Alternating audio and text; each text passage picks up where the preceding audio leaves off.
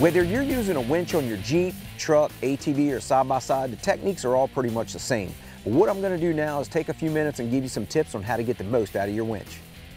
The first thing you're gonna to want to do when you get your brand new Warn winch is read your instruction manual. I know this is difficult for us guys, but believe me, there's a lot of good information in there that's really beneficial when it comes to using your winch.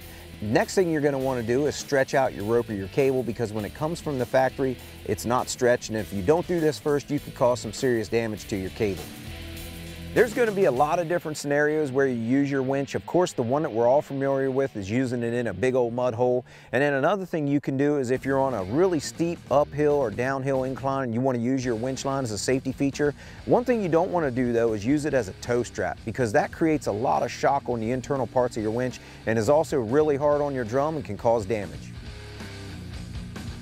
Something else I always carry out on the trail is a Warn accessory kit. And this is sold separately from your winch, but the nice thing about the accessory kit is it comes with some tree trunk protectors, a shackle, a snatch block, and some heavy duty Warn winching gloves. And something else I throw into my accessory kit, which is sold separately, is the Warn 50 foot extension rope. Now this is nice because it always seems to me like the trees that I need to get to are just a little bit farther away, and this 50 foot will definitely help get you there.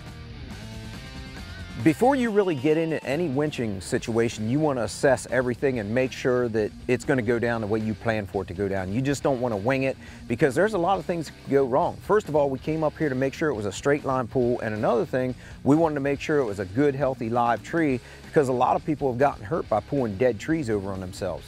Now that I have my tree picked out and it's a straight line pull, I'm gonna free spool my winch line out there. I'm gonna hook up to the tree, then I'm gonna come back to the Stampede, I'm gonna start it up and we're gonna get to winching.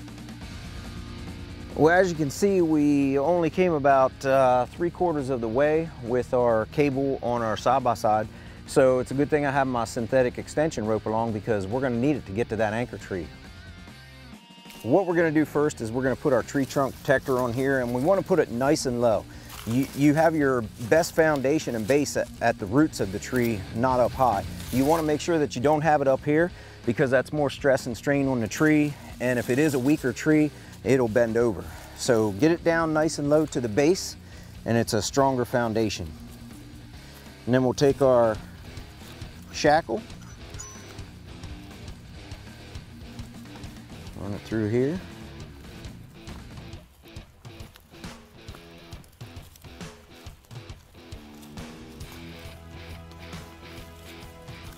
Just like that. And this is our synthetic rope extension. You'll put that in there and then you'll fasten your shackle with a synthetic rope extension. And the nice thing about the Warn extension rope is it has a metal ring around so you don't wear and tear the rope. This is there to reinforce the rope and give you more strength on your extension rope. If we brought our ATV up here and we had the cable with the hook and we actually took it and ran it around the tree and hooked it into itself, and then when we winch, it's gonna draw tight on that tree and it'll kill that tree. And it'll also damage your cable. So the benefits of having a tree trunk protector is it doesn't damage the tree and it doesn't damage the cable on your winch.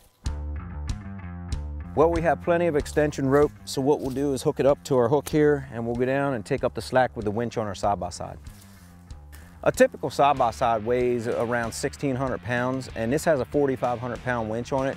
And the thing you gotta remember is if you get really swamped in the mud, you're gonna need a 4,500 pound winch to get you out. It's not just a matter of pulling it up over a hill like this. You won't use as much power to pull your side-by-side -side up over an incline like this, but if you're sunk and you're down to the bottom of your machine and it is really hard to get out, you're gonna need 4,500 pounds to get you out. And if you don't have enough there, you may have to use your snatch block and use a double line pull and go back to the machine to double your power on your winch. That'll turn your 4,500 pound winch into a 9,000 pound winch by just doubling back to your machine.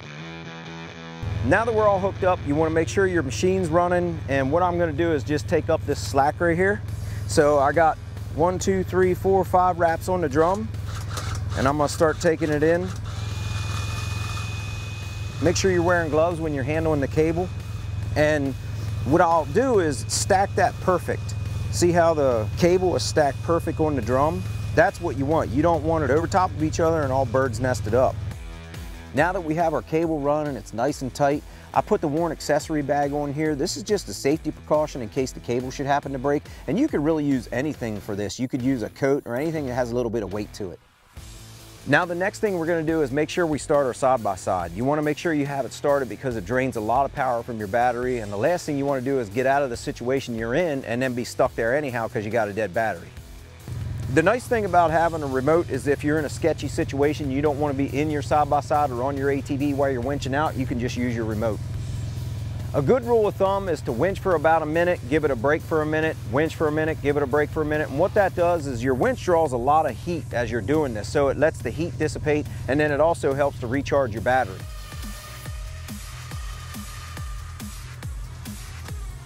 Now that I showed you how to use the remote outside the side-by-side, -side, I'm gonna jump inside because there's a couple benefits. You can help steer the machine and give it a little bit of gas to get the job done. On a steep incline situation, if you just give your machine just a little bit of gas, not enough to go ahead of the winch, but just enough to assist it, that really helps in keeping your winch cool.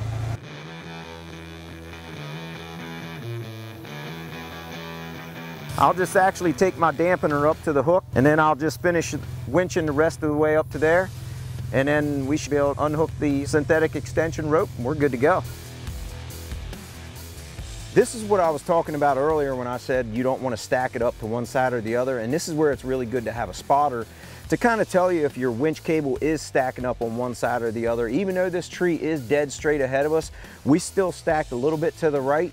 And if you keep stacking like this, you're going to damage your winch. Anytime you have your cable stack up to one side or the other like this after you're done winching, you're gonna have to free spool it all out and then rewind it and stack it all up nice and even so that way next time you go to use your winch, you'll be good to go.